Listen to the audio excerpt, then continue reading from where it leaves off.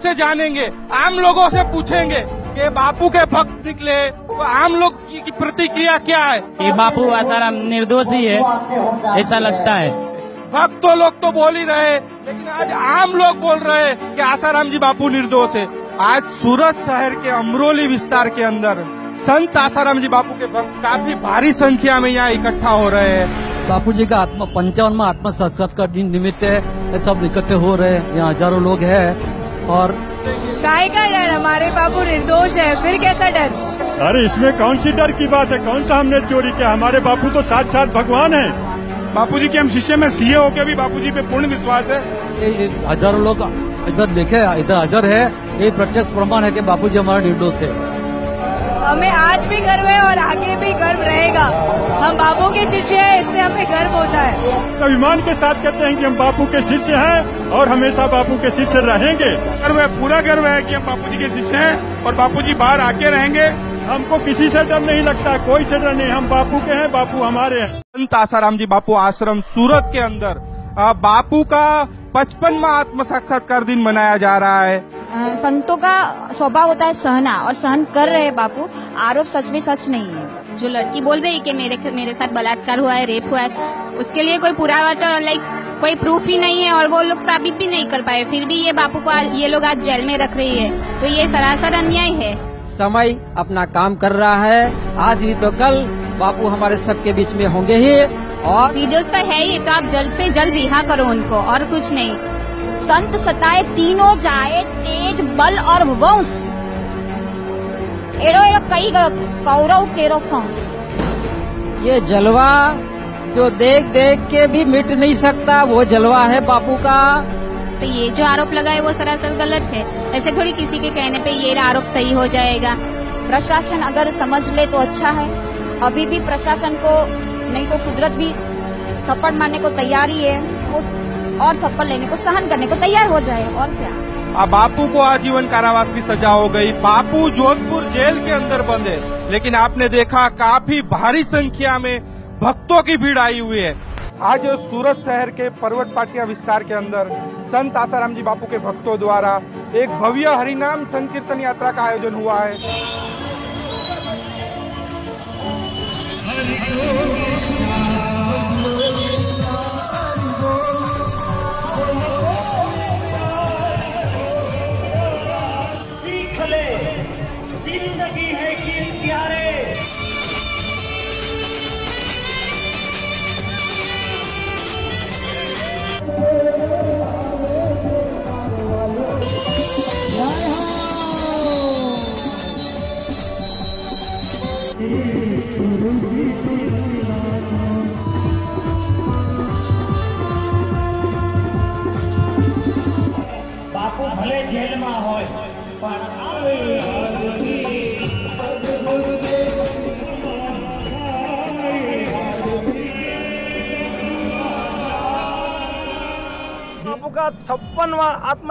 साक्षात्कार दिन है, जिसमें हम पर्वत पातिया विस्तार के अंदर, सूरत के अंदर हरिनाम संकीर्तन यात्रा हमने निकाली है, जिसमें हज़ारों की संख्या में भक्त जुड़े हैं।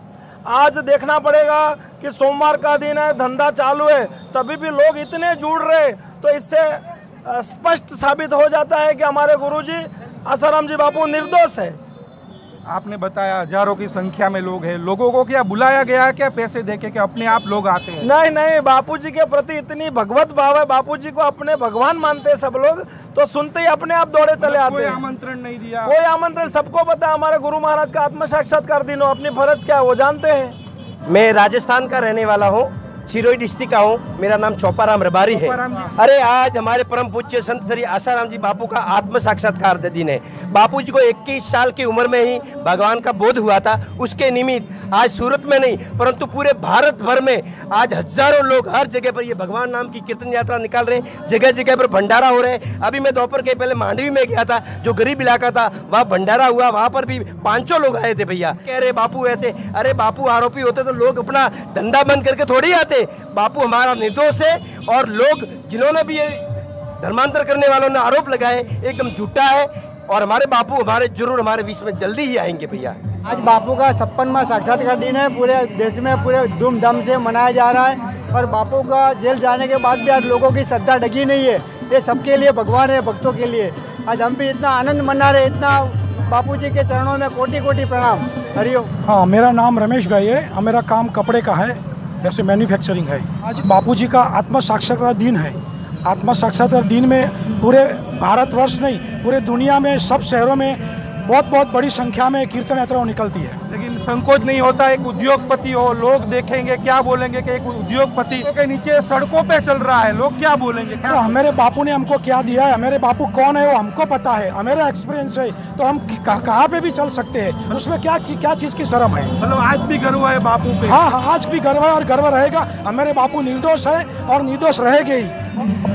मेरा नाम डॉक्टर भूमि है और मैं गायनक हॉस्पिटल में वर्क करती हूँ। अभी मेरी श्रद्धा बाबू पे इतनी है कि अगर लोग कुछ भी सोचते हैं तो मुझे उससे कोई फ़र्क नहीं पड़ता है। मेरी श्रद्धा आज भी उतनी ही है। मतलब आज भी बापू पे गर्व करते हो? बहुत गर्व है मेरे की मैं बापू से दीक्षा ली हुई है। मतलब जो बापू पे जो आरोप लग रहे हैं उसके बारे में क्या कहोगे? बापू पे जो भी आरोप लगे है वो मिथ्या है गलत है। बापू उसमें एक भी परसेंट सच्चाई नहीं है। मतलब आज भी बापू को क्या निर्दोष मानते हो? बापू निर्दोष है थे और हमेशा रहेंगे। क्या मांग करोगे सरकार से? सरकार से यही मांग होगी कि बापू को जल्द से जल्द न्याय मिलना चाहिए। मेरा नाम नीलू यादव है पांडेसरा से। पांडेसरा से आए हो। आज किस लिए यहाँ सड़कों पे निकले हो?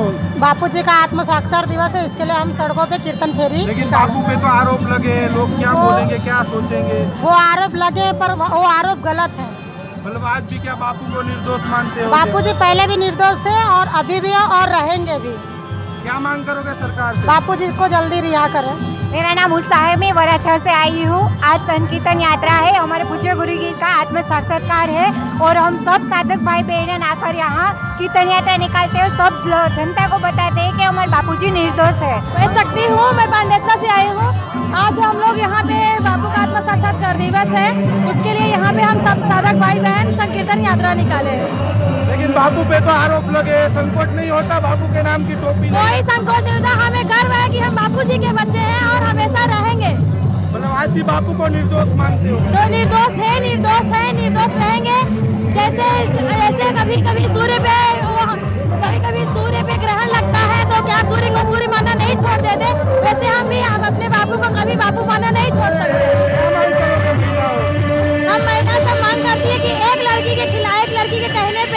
बापू को जेल में डाल दिया गया। हम इतनी सारी महिलाएँ हैं उनके कहने पे रिहा क्यों नहीं किया जा रहा है? आ, आपने देखा आज सूरत शहर के पर्वत पाटिया विस्तार के अंदर संत आसाराम जी बापू के भक्तों ने एक भव्य हरिनाम संकीर्तन यात्रा निकाली। आज आसाराम जी बापू छह सालों से जोधपुर जेल के अंदर बंद है, लेकिन भक्तों की श्रद्धा संख्या में कोई कमी नहीं आई। आज नहीं, रविवार है, आज के भाई, आज सोमवार है, छुट्टी नहीं है। लोग अपने काम धंधा छोड़ के आज बापू के समर्थन में इतनी भारी संख्या में भक्त लोग निकले सड़कों पे। उसमें उद्योगपति है, डॉक्टर है बहुत भारी संख्या में महिलाएँ इन लोगों का यही कहना है कि भले बापू छह सालों से जोधपुर जेल के अंदर बंद हो, लेकिन इन हमारी श्रद्धा में कोई कमी नहीं आई। ये भक्त आज भी बापू को निर्दोष मानते हैं। ये भक्त आज भी बापू को भगवान मानते हैं। और लगातार सरकार से भक्त लोग एक ही मांग करते हैं कि जल्द से जल्द आसाराम जी बापू को रिहा किया जाए। कैमरा मैन रंजनी के साथ नीलेष ठक्कर, सूरत शहर से रफ्तानी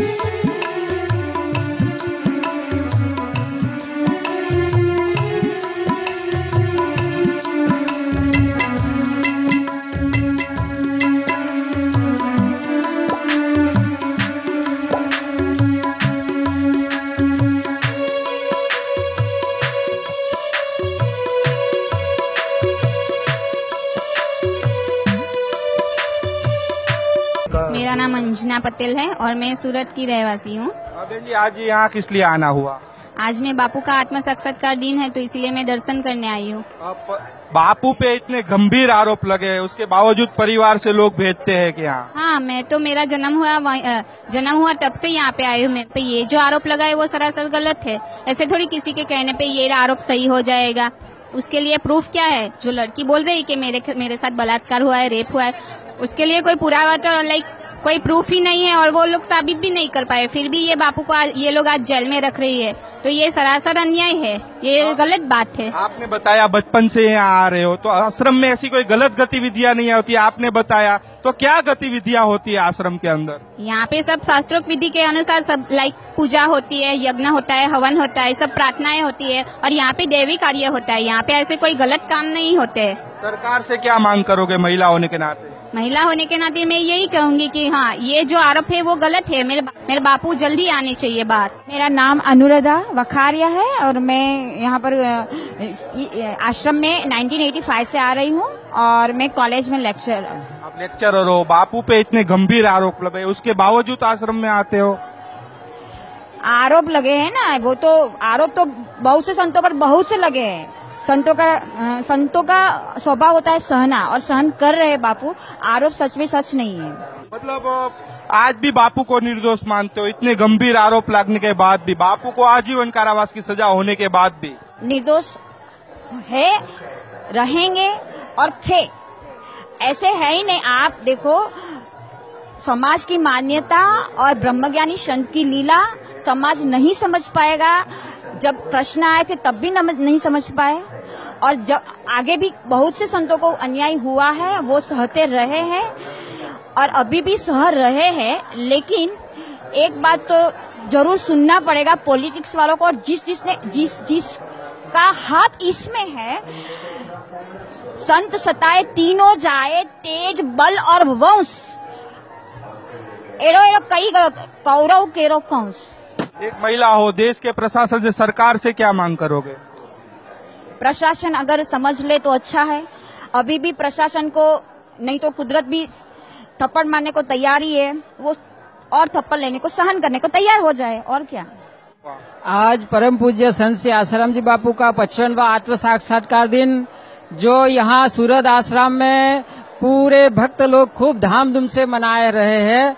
और ये पूरे सूरत में नहीं पूरे विश्व के अंदर कोने कोने में पूज्य बापू का आत्म साक्षात्कार दिन खूब धामधूम से मनाया जा रहा है। भद्रेश भाई एक क्या जलवा है बापू का? हमने देखा गुरु पूनम जन्माष्टमी ऋषि पाचम दो दिन पहले ही श्राद्ध गया। इतनी भीड़ और आज भी इतनी भीड़ मतलब पंडाल भर गया। तो ऐसा तो बापू का क्या जलवा है?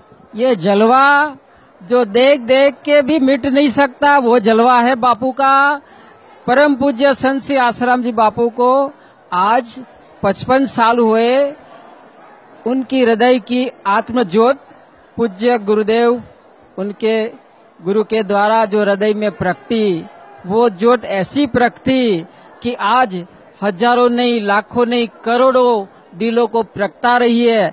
ऐसी ज्योत जो कभी बुझे नहीं, ऐसी आत्म साक्षात्कार रूपी ज्योत आज हज़ारों लाखों करोड़ों भक्तों के हृदय में जो जगमरा रही है, वह वही जलवा है आज, जो बापू आज सशरीर हमारे बीच में नहीं रहते हुए भी, आज कितने भी आरोप लगने लगने के बाद भी, आज वो जो दिल में आत्म ज्योत जगी है, वो हज़ारों दिलों को जलाई है। वो ज्योत कभी नहीं बुझने वाली है, चाहे इस पृथ्वी नहीं, भूमंडल नहीं, सातों सात लोक के अंदर भी, ये जो भी मानव, दानव जो भी लोग हैं, ये ज्योत को देखते रहेंगे कि ये पूरे भूमंडल में व्याप्त ये ज्योत कभी बुझने वाली नहीं बुझाने वाले कितने में आके थक जाएँगे युग तो ये ज्योत जलती रहेगी। वही तो ये जलवा है आज, जो हम देख रहे हैं। हज़ारों लाखों लोग आज अपना दिल पावन करके, पूज्य गुरुदेव को आशीर्वाद प्राप्त करके अपना जन्म जन्म का थकान मिटाकर,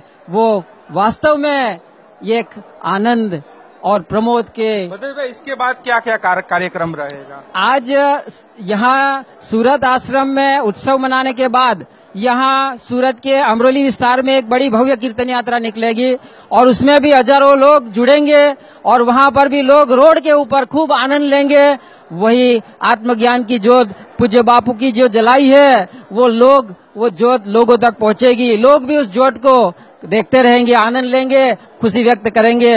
वही तो हमारा गुरु का ज्ञान है वही तो हमारे बापू है। बापू को सेशन कोर्ट ने सजा दी। हाई कोर्ट से क्या बापू फिर से भक्तों के बीच आएँगे क्या? आएँगे आएँगे और आएँगे ही। आने ही है। समय अपना काम कर रहा है। आज ही तो कल बापू हमारे सबके बीच में होंगे ही, निष्कलंक रूप से ही आएँगे। और फिर से अपनी ज्ञान की जोत पूरे भारत नहीं, विश्व के कोने कोने में फैलाएँगे। आपने देखा आज संत आसाराम जी बापू आश्रम सूरत के अंदर बापू का पचपनवा आत्म साक्षात्कार दिन मनाया जा रहा है। और भद्रेश भाई ने वही बताया कि फिर से बापू भक्तों के बीच आएँगे और फिर से वही सत्संग और ज्ञान की गंगा बहाएँगे।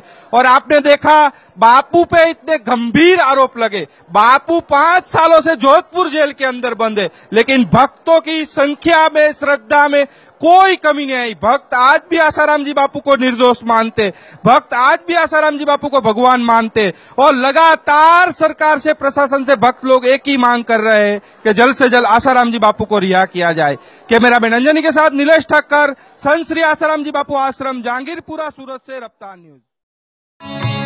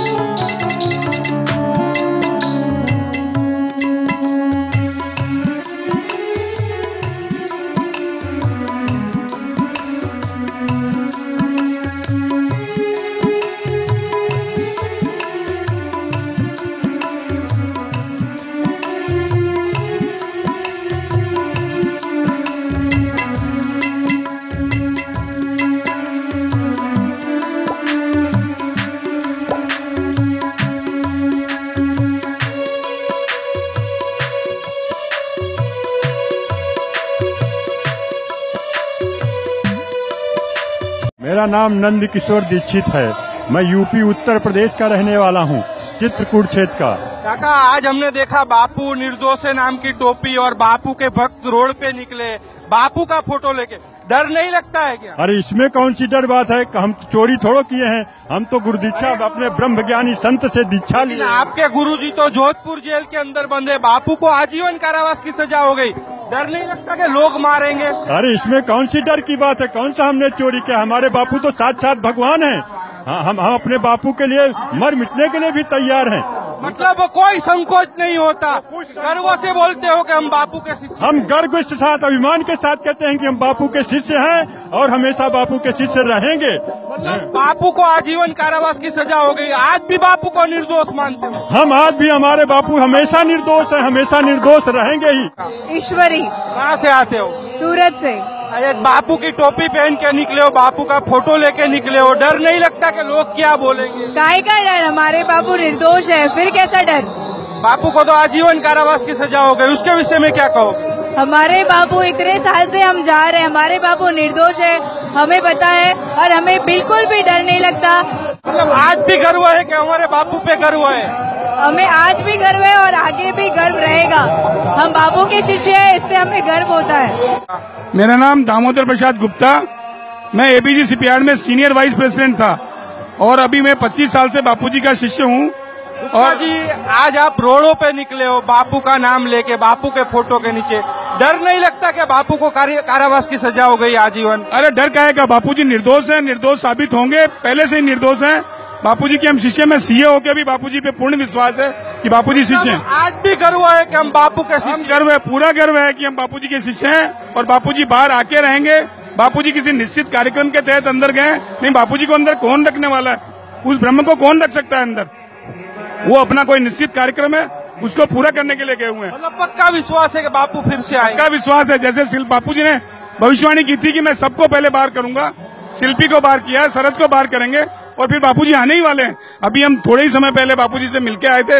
बापूजी बिल्कुल निर्दोष हैं बिल्कुल शांत हैं। कोई बापूजी को कोई गरूर नहीं है किसी पे शिकायत नहीं है। बापूजी पूरे ब्रह्म है और वो बाहर आके ही रहेंगे। आपने बताया कि बापू से हम मिल के आए तो बापू ने क्या बोला था? बापूजी ने बोला कि तुम अपना संकल्प पूरा रखो मैं मेरा निश्चित कार्यक्रम जो है वो पूरा करके जल्द बाहर आऊँगा। आज सूरत शहर के अमरोली विस्तार के अंदर बापू के भक्त निकले हैं सड़कों पे। हम आम लोगों से जानेंगे आम लोगों से पूछेंगे कि बापू के भक्त निकले तो आम लोग की, प्रतिक्रिया क्या है?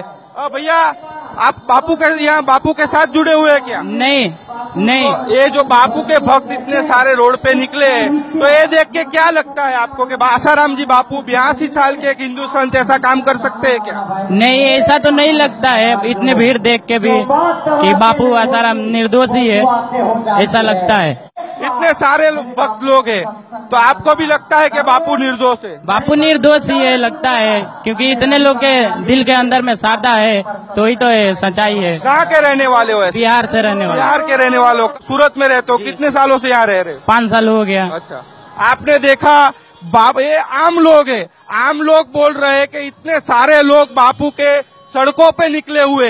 तो आम लोगों का ऐसा कहना है कि बापू निर्दोष है। भक्त तो लोग तो बोल ही रहे लेकिन आज आम लोग बोल रहे हैं कि आसाराम जी बापू निर्दोष है। और आप देख रहे हो, काफ़ी भारी संख्या में भक्त लोग निकले भारी संख्या में महिलाएँ हाथ में बापू का फ़ोटो लेके निकले और उनका यही कहना है कि भले आसाराम जी बापू को आजीवन कारावास की सजा हो गई, बापू भले जोधपुर जेल के अंदर बंद हो, लेकिन आज भी हम आसाराम जी बापू को निर्दोष मान रहे हैं। और काफ़ी भारी संख्या में आज भक्तों की भीड़ है यहाँ पे।